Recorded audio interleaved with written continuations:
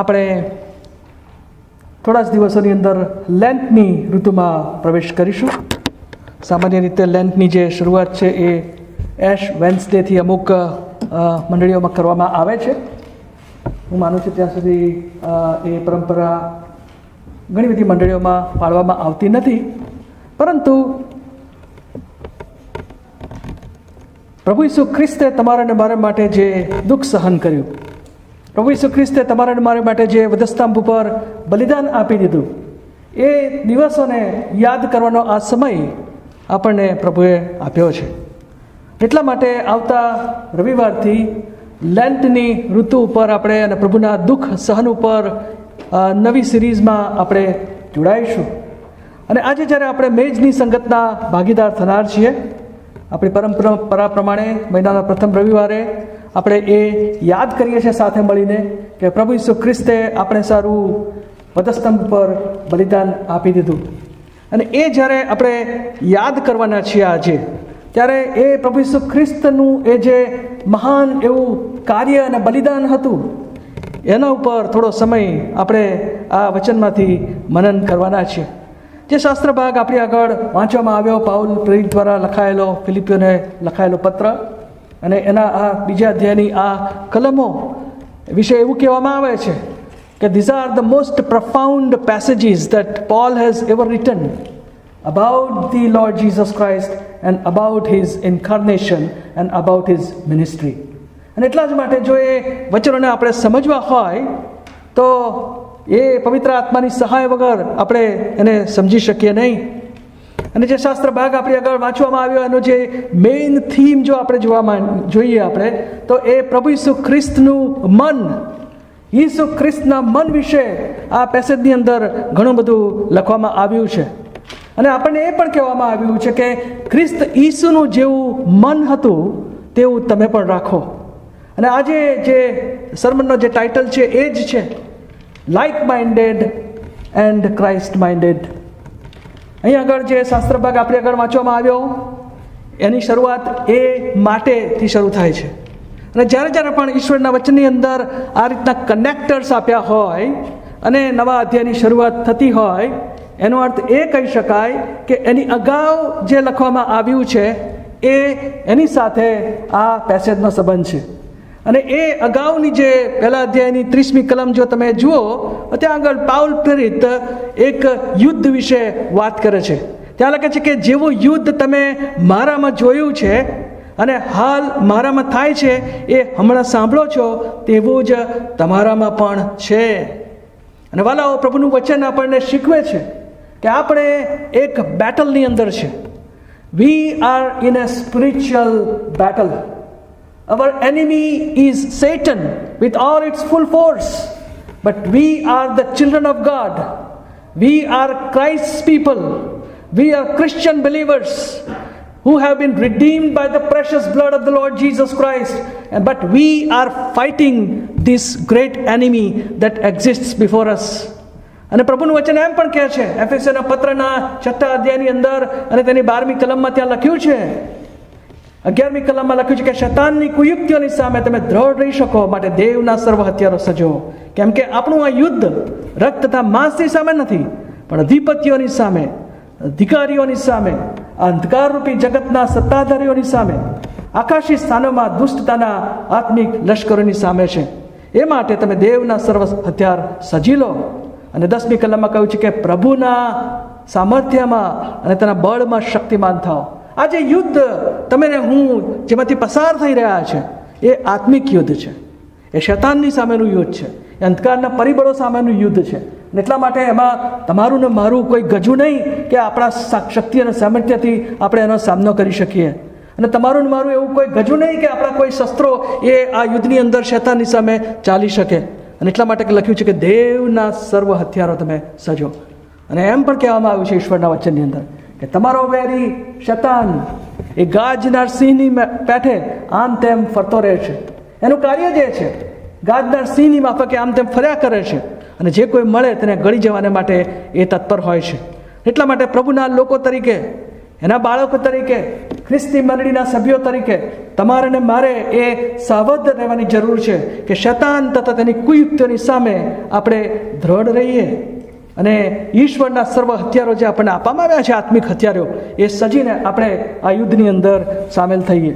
અને આ એક હકીકત છે કે તમે ને હું એક આત્મિક યુદ્ધની અંદર સામેલ છીએ. પરંતુ અહીં આગળ જે બાબત પાઉલ પ્રેરિત અહીં આગળ જે ફિલિપીઓના પત્રમાં લખે છે કે આ યુદ્ધમાં આપણે છીએ એટલા માટે આપણને કશાકની જરૂર પડે છે. When we are fighting together against a common enemy called Satan we need to have the unity of spirit અહીંયા કહેવામાં આવ્યું છે કે માટે ખ્રિસ્તમાં કંઈ પહેલી કલમમાં લખ્યું છે કે કંઈ ઉત્તેજન પ્રેમનો કંઈ દિલાસો જો પવિત્ર આત્માની સંગત તથા હૃદયની કરુણા અને દયા હોય there are four things mentioned here there are four things four qualities that talks about the unity that is required to fight against our enemy called devil અને ત્યાં આગળ લખવામાં આવ્યું છે કે ઉત્તેજન દિલાસો, પવિત્ર આત્માની સંગત અને હૃદયની કરુણા તથા દયા હોય. આ બધા બહુ પોઝિટિવ એવા એટ્રીબ્યુટ્સ પ્રભુએ આપણી આગળ મૂક્યા છે. અને જો આ જે ગુણો અને લક્ષણો જે આપવામાં આવ્યા છે, એ તમારા અને મારા જીવનની અંદર હોય, તો હું એવું ચોક્કસ માનું છું કે એ બાબત આપણને એક થવાની અંદર અને એકતાની અંદર આપણને જોડી જોડી જશે. પહેલો જે મારો જે પોઈન્ટ છે, આ જ છે. ધ યુનિટી પ્રોડ્યુસીસ જોય બહુ સાચી વાત છે. બહુ સાચો એવો એ એ આપણે સારી પેઠે નાના બાળકો હતા ત્યારે આપણને પેલી એક ભારીનો દાખલો આપવામાં આવતો હતો કે એક લાકડીને તમે તોડવાની કોશિશ કરો, તો સલાઈથી તૂટી જશે. તો બે લાકડી સાથે હાથમાં રાખીને તોડવાની કોશિશ કરશો તો થોડી વધારે મહેનત કરશો, તો પણ તૂટી જશે. પણ જો એ લાકડીનો આખો ભારો તૈયાર કરવામાં આવે, કે દસ કે બાર કે પંદર લાકડીઓને બાંધી દેવામાં આવે અને you if you try to break that particular thing, it is very very difficult. Unity actually is a strength. એકતા એ આનંદ લાવે છે એટલા માટે એ પ્રસંગોને એ દિવસે આપણે યાદ યાદ કરીએ કે જ્યારે આપણે પિકનિકમાં ગયા હોઈએ કે આપણે રિટ્રીટમાં ગયા હોઈએ અને when we were enjoying each others lovely fellowship and we were enjoying the nature and we are enjoying to talk with each other and spend time with each other what a lovely time we had right? Because there was a harmony, there was a unity. And when unity is there, when harmony of the spirit is there, there is joy and ple- ple- pleasure. This is a common thing. But I have also written down here that when division and disharmony happens, it brings sorrow and sadness. This is true of any human relationship. This is true of a family relationship જ્યારે એકતા અને અખંડિતતા હોય છે, ત્યારે એ આનંદ લાવે છે, આપણને એ ખુશ કરી દે છે, આપણે એની મજા લઈ શકીએ છીએ. We enjoy we all enjoy each others fellowship and love and we like that અને એટલા માટે આપણે એવા સમયો રાખીએ છીએ વર્ષની અંદર કે જ્યારે આપણે આનંદ સાથે મળીને કરી શકીએ. અને પછી એ લખવામાં આવ્યું છે કે જ્યારે કોઈક મુશ્કેલી ઊભી થાય એકતાની અંદર કોઈક મુશ્કેલી ઊભી થાય ત્યારે એ આપણને દુઃખમાં દોરી જાય છે. It brings sadness and it brings a kind of a sad feelings right it is true it is true in a Christian marriage number one it is true in a Christian friendship it is true in a Christian fellowship It is true in Christian community and it is true in Christian fellowship. I hope that you all agree with me what I am saying. પણ એ બધી બાબતોને માટે ત્યાં આગળ જે ચાર બાબતોની જરૂર પડે છે એ તો એ જ છે કે ઉત્તેજન સંગત હૃદયની કરુણા અને દયા અને દિલાસો પ્રેમનો દિલાસો If we have these qualities, then these qualities are basic ingredients of a unity. Spiritual unity ની આપણે વાત કરી રહ્યા છે These qualities are essential for the unity of the fellowship. અને પછી બીજી બાબત આપણે જોઈશું કે પાઉલનું જે જે ઉત્તેજન આપવામાં આવ્યું Paul's exhortation to the Philippians અને એની અંદર બીજી કલમમાં તમે જો તો ત્યાં આગળ આ ચાર કે પાંચ જે ક્વોલિટી દયા અને કરુણાને કદાચ આપણે એક ગણી શકીએ. The four qualities are producing four actions in verse two ત્યાં આગળ લખવામાં આવ્યું છે કે, તો મારો આનંદ એવી રીતે સંપૂર્ણ કરો કે તમે એક જ મનના થાઓ. નંબર વન થિંગ ત્યાં લખવામાં આવ્યું છે કે, એક સરખો પ્રેમ રાખો. નંબર ટુ થિંગ્સ ત્રીજો જે એક્શન આવે છે કે એક જ જીવના આપણે બનીએ છીએ અને ચોથી જે બાબત લખ્યું છે કે એક જ દિલના થાઓ. This are some of the things that are mentioned here in the word of God અને આ વર્ષ ટુની અંદર જે ગ્રીક શબ્દ વાપરવામાં આવ્યો છે, મેં આગળ લખ્યું છે ઇટ ઇઝ કોલ્ડ ફ્રોનિયો અને આ ફ્રોનિયો જે ગ્રીક ગ્રીક શબ્દ છે, એનો અર્થ થાય છે થિંકિંગ એન્ડ ફોકસિંગ વિચારું કરવું અને એની ઉપર લક્ષ્ય રાખવું એની ઉપર ફોકસ કરવું and then we have to consider this verb there are four fold actions in world thinking the same way બીજા શબ્દમાં બી લાઇક માઇન્ડેડ એક મનના એક આપણે લખવામાં આવ્યું છે કે એક એક જ મનના થાવ પહેલી વસ્તુ second thing is having the same love as Christ has loved us we have to love one another ત્રીજી બાબત લખ્યું છે કે એક આત્મામાં એક મનના થાવો we have to be united in one spirit એક જીવના અને પછી લખ્યું છે કે બિંગ ઓફ વન માઇન્ડ જે દિલ શબ્દ વાપર્યો છે તે ઇંગ્લિશની અંદર માઇન્ડ લખવામાં આવ્યું છે so we have to remember that this four actions are coming from a Greek word call ફ્રોનિયો means we have to think and focus we have to think about this actions that Paul is talking about is અને પછી આગળ વધીએ અને આ એકતાને માટે કેટલીક બીજી પણ બાબતો જરૂરી હોય છે. કઈ બાબતો એવી છે કે જે એકતાને જોખમ આવી શકે છે? એના વિશે આગળ એ ચેતવણી આપે છે. ત્રીજી કલમમાં લખ્યું છે કે પક્ષાપક્ષીથી કે મિથ્યાભિમાનથી કંઈ ન કરો, પણ દરેકે નમ્ર ભાવથી પોતાના કરતાં બીજાઓને ઉત્તમ ગણવા. Do not do nothing through selfish ambitions or conceit અને આ જે વચન છે એ બહુ જ સાચું વચન છે. કારણ કે વિભાજન અને અનેકતા અને હરીફાઈનો આત્મા ધ સ્પિરિટ ઓફ કોમ્પિટિશન અને સ્વાર્થનો આત્મા એ કુટુંબોની અંદર, મંડળીની અંદર, સમાજની અંદર એકતાને જોખમનારા એવા પરિબળો છે. Do you agree with me it's a very common thing right when if you are so much focused on our own interest and we are always trying to do factionalism then we have the problem now let me tell you one thing મંડળીની અંદર જ્યારે આપણે આવીએ છીએ, ત્યારે પ્રભુએ દરેક વ્યક્તિને unique રીતે બનાવ્યા છે. Everybody is uniquely made by God તમારા અને મારા જેવો બીજો કોઈ વ્યક્તિ આખી પૃથ્વીના પટ ઉપર નથી હોતો. દેખાવની દ્રષ્ટિએ પણ નહીં, કે નહીં સ્વભાવની દ્રષ્ટિએ, કે એની જે ગુણ લક્ષણો હોય છે. That means we all have unique thinking God has given us unique thinking we are all thinking differently it doesn't mean કે આપણે બધા એક જ વિચારો કરતા હોવા જોઈએ અને આપણા બધાના વિચારો મળતા જ આવવા જોઈએ that is that is not the way God has created us God has created individuals with unique thinking and individual opinions about many matters. And this is the beauty of, of his creation. તમે ચોક્કસપણે કહી શકશો કે આઈ એમ unique shall we say that I am unique let us say I am unique let us say I am unique God has made me one. Focus now on. Back to track. We should come back to God's word and let us not allow that little crack to generate into factions. આગળ વધીએ અહીં આગળ આપણને કહેવામાં આવ્યું છે કે પક્ષા પક્ષી કે મિથ્યા ભાવમાનથી તમે કંઈ ન કરો અને પછી લખ્યું છે કે તમે દરેક પોતાના હિત પર જ નહીં પણ બીજાઓના હિત પર પણ લક્ષ રાખો now let me tell you that there are some practical things here we we all are wired like that that we would like to see our interests first કશું જ એમાં આપણે કરી શકતા નથી એ રીતે ઈશ્વરે આપણને શરૂઆતમાં બનાવ્યા ત્યારે એ રીતે આપણને બનાવવામાં આવ્યા છે કે we always think of I first selfie right That's nothing wrong. It's, it's the way we are wired naturally is like that. પણ અહીં આગળ આપણે જે કહેવામાં આવ્યું છે કે it is not wrong to think about our interest પણ લખવામાં આવ્યું છે કે પણ બીજાઓના હિત પર પણ લક્ષ રાખો. અને પછી આગળ લખવામાં આવ્યું છે કે ખ્રિસ્ત ઈસુનું મન જેવું હતું તેવું તમે પણ રાખો. In other words in all our conduct in all, whatever we do, whatever we discuss, whatever we say, we have to keep this thing in the center of our discussions, that we have to have the mind of christ always before us so that we will be able to function as a team will be under the unity of the holy spirit and we can continue serving him અને પછી આપણે જોઈશું કે being like minded we must have this mind of Christ or the attitudes of Christ અને એ આપણે ત્રણથી ચાર કલમોની અંદર આપણને કહેવામાં આવ્યું છે અને પછી આ જે ખ્રિસ્તનું જે મન છે એના વિશે આપણે ઝડપથી જોવાના માટે પ્રયત્ન કરીશું. How what is actually what we understand by the mind of Christ એનો જવાબ આપણને છ થી અગિયાર કલમોની અંદર આપણને આપવામાં આવ્યો છે પાવ દ્વારા.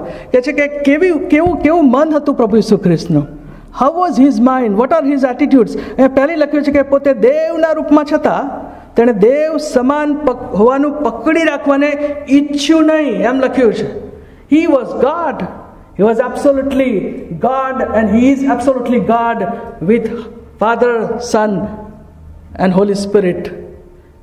And yet, when the time came, when the time came for Him to come down in this world, He said that I am going to remove my robe. I am not going to consider it as important as it is now, but I am going to become a man. હું એ ઈચ્છતો પણ નથી દેવ સમાન હોવાને પકડી રાખવાને એણે મનમાં ઈચ્છા પણ કરી નહીં અને પછી સાતમી કલમમાં લખ્યું છે કે તેણે દાસનું રૂપ ધારણ કરીને એટલે માણસના રૂપમાં આવીને પોતાને ખાલી કર્યો what a tremendous humility it required for Lord Jesus Christ. Does it mean that he ceased to become God? Many times I tell these words and I explain to you that when Christ came as a human baby on the Christmas, first Christmas day, he did not leave his deity behind. The only thing that he left was that he chose not to exercise his divine authority until and unless it is required. પોતાના કામને માટે, પોતાનો જે ઈશ્વરી સ્વભાવનો જે અધિકાર હતો, એમણે કદી પણ એનો ઉપયોગ કર્યો નહીં. પણ જ્યારે કોઈ માંદાને સાજાપણું આપવાનું હતું, ત્યારે એમણે એમના દૈવી અધિકારનો ઉપયોગ કર્યો. જ્યારે કોઈક મરણમાંથી કોઈને ઉઠાડવામાં હતું, ત્યારે ઈશ્વર પ્રભુ ખ્રિસ્તે એમના દૈવી અધિકારનો ઉપયોગ કર્યો. Do you agree with me all this thing that make sense to you because he was hundred percent God and hundred percent man પણ અહીંયા લખવામાં આવ્યું છે કે એણે પોતે દાસનું રૂપ ધારણ કરીને, એટલે માણસના રૂપમાં આવીને પોતાને ખાલી કર્યો સાતમી કલમમાં હી એમ્પટીડ હિમસેલ્ફ ખાલી કર્યો. Imagine bowl full of water and we completely pour out that water out of this bowl nothing remains until nothing remains in this bowl. પ્રભુ ઈસુ ખ્રિસ્તના વિશે એવું જ કહી શકાય કે એ એમનું પોતાનું જે દૈવત્વ હતું, એ મનુષ્ય સ્વરૂપ ધારણ કરીને આ જગતની અંદર આવ્યા અને એમણે એમનું સર્વસ્વ એમણે રેડી દીધું.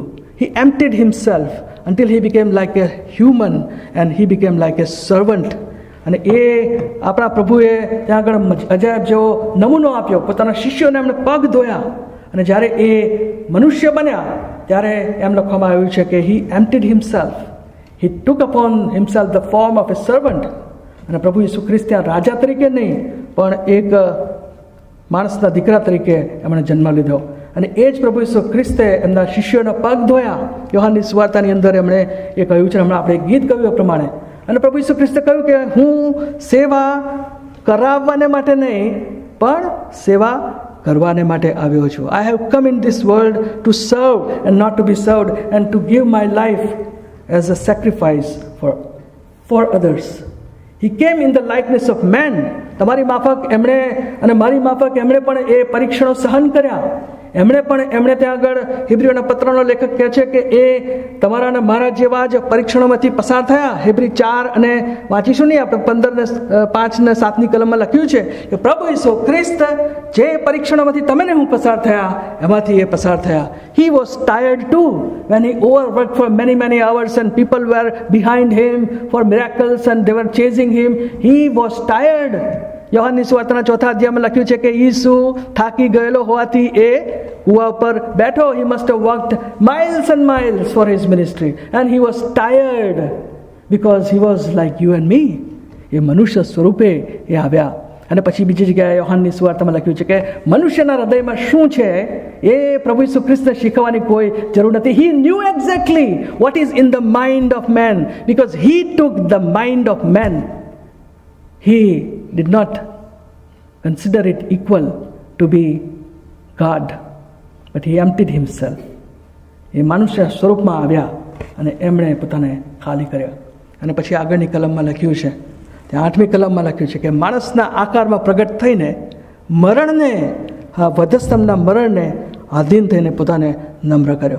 What a tremendous humility our Lord Jesus Christ shown કેટલી મોટી હ્યુમિલિટી એક બાજુ દેવના સમાન હોવાનું એમની પાસે ધોરણ હતું જ. મનુષ્ય સ્વરૂપ એમણે ધારણ કર્યું ત્યારે એમણે એ અધિકારોને જતા કર્યા. ત્યાં આગળ તમે જો વિચાર કરો, પ્રભુ સુખ્રિસ્તને જ્યારે વધસ્તંભ પર જડવાના હતા, ત્યારે એમણે શિષ્યોને કહ્યું કે તમારી તરવારને તમે જ્ઞાન ન કરો. શું મારી પાસે એવો અધિકાર નથી કે હું બાપને વિનંતી કરું ને બાપ બાર ફોજ અહીં આગળ પ્રભુ એના એન્જલ્સની મૂકીને આ લોકોને હરાવી દે? He had every authority to do that Remember, he had every authority to stop them from killing him on the cross. Did he use his authority? He allowed them to capture him. He allowed himself to be captured by these people. And he did not exercise his divine authority to set himself free.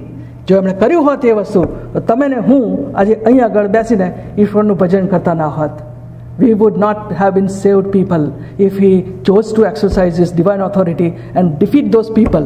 He could have done it. પણ અહીંયા લખ્યું છે કે એણે વધસ્તંભના મરણને અધીન થઈને પોતાને નમ્ર કર્યો. ઈશ્વર પિતાની ઈચ્છા પ્રમાણે એમણે કર્યું. એમણે કહ્યું કે જો તારી ઈચ્છા છે પ્રભુ, તો હું વધસ્તંભ પર જવા માટે તૈયાર છું. And this is the tremendous example for us to follow કોઈ માણસની હ્યુમિલિટી કોઈ માણસનું મન તમે હું ફોલો કરવા માટે આપણને કહેવામાં નથી આવ્યું.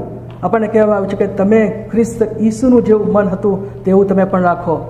એમ નથી કહેવામાં આવ્યું કે તમારા આગેવાનોનું જેવું મન છે, એવું તમે રાખો. તમારા પાળકનું જેવું મન છે, એવું તમે મન રાખો. કોઈ જ ઉદાહરણ કે કોઈ જ મોડલ એ સંપૂર્ણ નથી. Except one that is Christ Christ Christ who was absolutely sinless and blameless he did not commit a single sin, though he was tempted like you and me. And he is the ideal example for you and me to pursue. એમના જેવું મન રાખીએ એ શું બતાવે છે what is the meaning of that મન અને એ મન આપણે જોયું કે એમણે પોતે જે અહીં આગળ જે આગળની કલમોમાં જોયું એમણે જે કંઈ કર્યું એ પોતાના બીજાઓને માટે કર્યું એમણે બીજાઓના હિત ઉપર લક્ષ્ય રાખ્યું પોતાના હિત ઉપર એમણે લક્ષ્ય રાખ્યું નહીં અને ત્યાં લખવામાં આવ્યું છે. અને એને કારણે ઈશ્વર પિતાએ એને એટલું મોટું નામ આપ્યું, સર્વ નામો કરતાં તેને એવું શ્રેષ્ઠ નામ આપ્યું કે આકાશમાંના ભૂમિ પરના તથા ભૂમિ તળેના સર્વે ઈસુને નામે ઘૂંટણે પડીને નમે. અને દેવ બાપના મહિમાને અર્થે દરેક જીભ કબૂલ કરે. ત્યાં આગળ બે પ્રકારના ઈશ્વરે જે ઈશ્વર પિતાએ એમને જે એક્ઝોલ્ટ કર્યા પ્રભુ ઈસુ ખ્રિસ્તને. એક તો પ્રેઝન્ટ ટેન્સની અંદર એક એવું નામ આપ્યું કે છે કે જે સર્વશ્રેષ્ઠ નામ છે. આકાશ તથા પૃથ્વી તળે બીજું કોઈ એવું નામ નથી કે જે નામમાં તમને ને મને ઉદ્ધાર મળે છે the only name of Jesus Christ that can bring salvation, and it is the only name that is given. That's a present uh, exaltation. And in future it is said in Revelation chapter 5 and verses 11 to 14, we don't have time to read that, પણ ત્યાં લખવામાં આવ્યું છે કે એ દિવસે જ્યારે ન્યાયકાળનો સમય પૂરો થશે ત્યારે કે છે આખા પૃથ્વી પરના લોકો અને તમામ ભાષાઓ બોલનારા લોકો જેઓ પ્રભુ ઈસુ ખ્રિસ્તની રક્તમાં પોતાને ધોઈને શુદ્ધ કર્યા છે એક એવી મોટી મંડળી ત્યાં આગળ હતી ત્યાં આગળ એ લોકોએ ભેગા થઈને એમણે ત્યાં આગળ લખ્યું છે કે પ્રભુ ઈસુ ખ્રિસ્તની આરાધના કરી They exalted him, they worshipped him, and they acknowledged that Jesus Christ is the Lord. એ આપણો પ્રભુ એ મહિમાવંત થનાર છે એમને મહિમાવંત કરવામાં આવ્યા છે અને એ ભવિષ્યમાં પણ એ મહિમાવંત થશે so let me conclude with this what does the mind of Christ mean to you and me The mind of Christ also means that I and you will have to have that humility of Christ. The mind of Christ also means that I and you will have to be obedient like Christ, who obeyed the will of God the Father. And the mind of Christ also means we have to sacrifice ourselves, our interests, our positions, our ego, and we have to sacrifice for Christ's sake. અને પરિણામ ત્યાં મોટો એક reward આપવામાં આવ્યો છે and this is something that I need to show you here that this is the kingdom principle ત્યાં આગળ પહેલાં સેવા આવે છે. પ્રભુ ઈસુ ખ્રિસ્ત પહેલાં ખાલી થયા. એમણે પોતાની જાતને નમ્ર કરી. એ વધસ્તંભને અધીન થયા. અને ત્યારે પછી લખવામાં આવ્યું છે કે એમને ત્યાં આગળ ઊંચા કરવામાં આવે અને this is a scriptural principle ઘણી બધી કલમો એવી છે. યાકુબના પત્રના તેના ચાર, ચોથો અધ્યાય અને તેની દસમી કલમમાં ત્યાં લખ્યું છે. ત્યાં કહ્યું છે કે પ્રભુની આગળ તમે દીન થાઓ. એટલે તે તમને ઉચ્ચ પદે મૂકશે. અને પછી બીજી જે કલમ તમારી આગળ વાંચવા માગું છું. પહેલો પિત્તર અને તેનો પાંચમો અધ્યાય અને તેની છઠ્ઠી કલમ. ત્યાં આગળ પણ આપણને આ જ સિદ્ધાંત જોવા મળે છે. ત્યાં આગળ પહેલો પિત્તર પાંચ અને છની અંદર ત્યાં લખવામાં આવ્યું છે કે દેવના સમર્થ હાથ નીચે તમે પોતાને નમાવો કે તે તમને યોગ્ય સમયે ઉચ્ચ પદે મૂકે. What is the principle of becoming great in the kingdom of God પ્રભુ ઈસુ ખ્રિસ્તે એક નાના બાળકને ઊભું રાખ્યું પેલા બધા શિષ્યો અંદર અંદર ફાઇટ કરતા હતા કે who would be the great among us અને પછી એ પ્રશ્ન જ્યારે પ્રભુ ઈસુ ખ્રિસ્તની પાસે ગયો પ્રભુ ઈસુ ખ્રિસ્તે એનો જવાબ કેવી રીતે આપ્યો એક નાના બાળકને એમની લાવે વચ્ચે ઊભા રાખીને એમને શું કહ્યું this is the thing that you should become like a small helpless child who doesn't so think so much about his ego and his authority and power, who is always willing to bend down to parents' desires, a humble child. This is the humility that God is asking to show us so that in His time He will exalt us. Let me tell you, in the kingdom of God, service comes before glory, lowliness comes before greatness, and humility comes before exaltation ઈસુ ખ્રિસ્ત માટે તમે ને હું મહાન થવા માંગીએ છીએ એના કારણે માટે આપણે આગળ વધવા માંગીએ છીએ એના રાજ્યમાં આપણે આગળ વધવું છે The only way to be on top is to be on the bottom first. And if we are willing to become the bottom first, God will use that thing and will raise you up in the due course of time.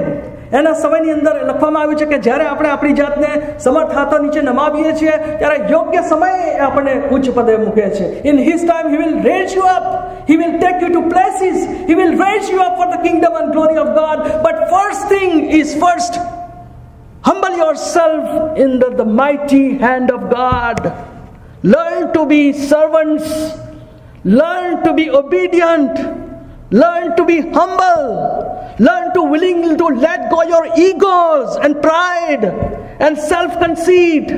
Learn to forgive and accept one another. If this happens, I am guaranteeing you that God will fulfill this promise for each and every one of Canadian Gujarati Christ Church member, not only Rajendra Khadia. It applies to me as well. If I am not willing to humble myself, then God cannot use me. If you want to become great in the kingdom of God, humility comes first. અને જ્યારે આપણે આપણી જાતને નમ્ર કરીએ છીએ પ્રભુના હાથમાં then God uses us. He is willing to use people who are broken down and contrite hearted. પ્રભુનું વચન કહે છે કે દેવ ગર્વિષ્ઠોની વિરુદ્ધ છે પણ તે નમ્ર માણસો ઉપર કૃપા કરે છે And that is what the word of God tells me today to convey to you in all its humility. It may hurt some people, and always I tell you this that word of God always hurts. If it doesn't hurt, we have lost the sensitivity to God's word. These are the words of Ravi Chakrayas. If you are not hurt by the word of God, we have lost all the sensitivity to God's word and His Holy Spirit. If you are not broken by the word of God, you have lost all sensitivity to God's word and His Holy Spirit. How many of you agree today to this? I agree. I have seen in my life, and everybody has gone that. And so we must have this mind of Christ. This is the key to the unity that produces joy. You want to see that joyful fellowship bubbling again? This is the only solution I have for you from the Word of God, and God has for us as well, for each one of us, including myself. Let us pray.